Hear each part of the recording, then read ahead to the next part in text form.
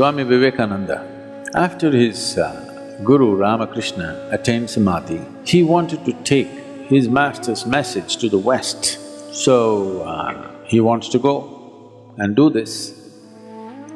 But he wants to seek the permission of Sharada Devi, who was Ramakrishna's wife. She said, uh, Naren, can you give me that knife? She said, I wanted to see how you will give the knife. You may go and spread the master's message.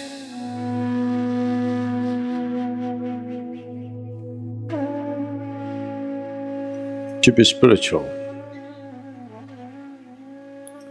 has always been also understood as to be gentle.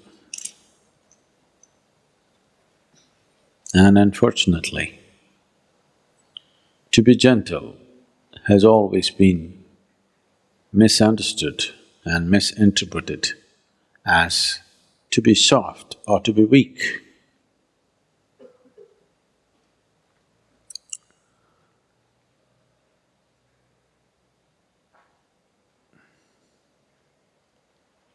The weak are gentle not by choice, because they're incapable of making a strong imprint, they're gentle. Gentleness is of value only when it's by choice. You're capable of being violent, but you choose to be gentle. That's of great value. You're incapable of violence. Now you're gentle. That's not of any great value because that's coming from a certain incapability. Today somebody was asking me, Sadhguru, why all the goddesses in India, always they have weapons in their hands.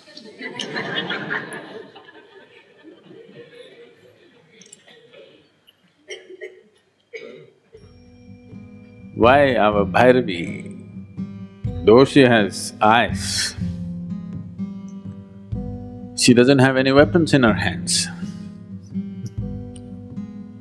Ten hands and no weapons. Because she's done with violence. You see the buffalo, Mahishasa, already conquered. So what needs to be treated brutally has been done. The beast has been killed. Now there is no need for weapons, so all hands free. So to bring yourself to this state, intense, not in a violent manner, intense, she is intense in victory, she is intense in energy, she is intense in her ecstasy. Her intensity is not violence, not that she's not capable of, it's just that she's done with it. In the evolution of one's action, if you look at the evolution of action, the initial part of the action will always be violent. As you become more expert with something, you will see the rough edges in your action goes away and it becomes smoother and smoother and there will be no violence in action. Even a swordsman who is an expert, only somebody who is new goes, ah, like this. An expert will just flick it and it's done. There's no violence in the action. So in the evolution of action, she's past that. Still intense, but in victory, energy and ecstasy, not in a violent manner. There are many symbolisms like that here, if you feel your eyes and see, where it is intense but not violent. Is something wrong with violence? It's not a question of right and wrong, it's just crude way of conducting life.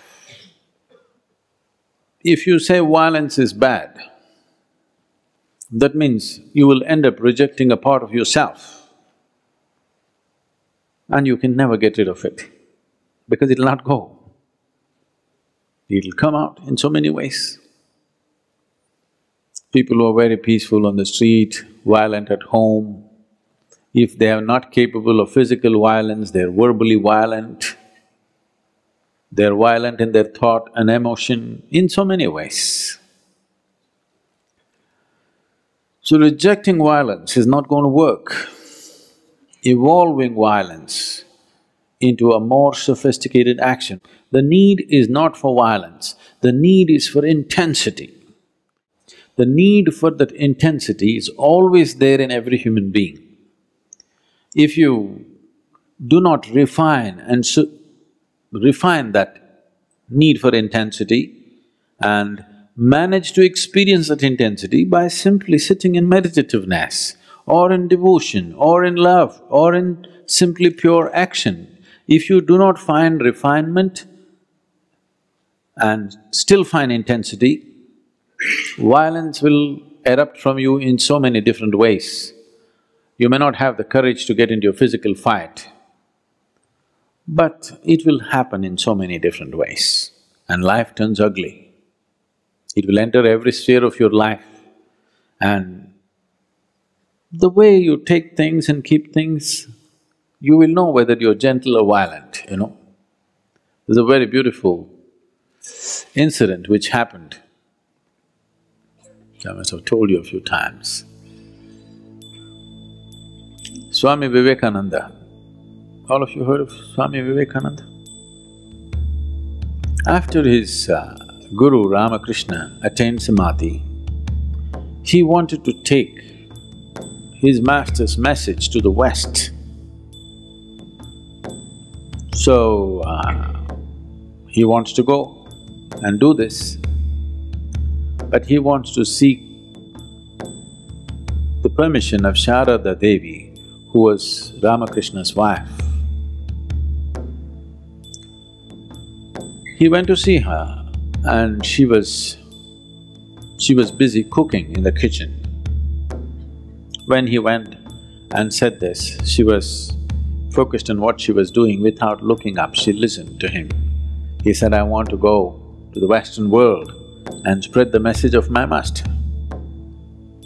Shall I go? So without looking up from the chores that she was doing, she said, uh, Naren, can you give me that knife? So he picked up the knife and gave it. He's a certain kind of person, so he gave it in a certain way. Not like that, he gave it in a certain way. She took the knife and kept it aside and she said, you may go. Then he noticed this and he said, why did you ask for the knife? You have no vegetables to cut, everything is already on the pot already in the pot, on the boil. Why did you ask for the knife? There was no need for the knife, why did you ask for it? She said, I wanted to see how you will give the knife. You may go and spread the master's message. So this is where gentleness is. Not because somebody is watching, not because you're under scrutiny, just the way you move, how you step on the planet, how you breathe, how you sit, how you stand, how you look at other people. This is where you have to refine your action. Now I'm not talking to you about mindfulness, no, being mindful of everything, no. I'm talking about refining your physical action, your verbal action. With this slowly, your mental action and emotional action also can be refined to just move your hands and legs in a more gentle manner.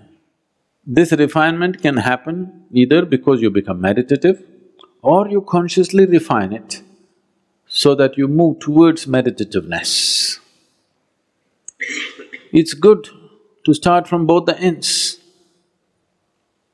If you want to reach a destination, it's good to start from every possible end so that you get there quick enough.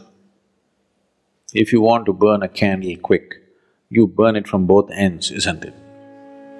You burn it from only an end, one end, it may take a lifetime. You want to enjoy at least half a lifetime of meditativeness, you must burn it from both ends. so you may be practicing meditation, but also consciously refining your physical action.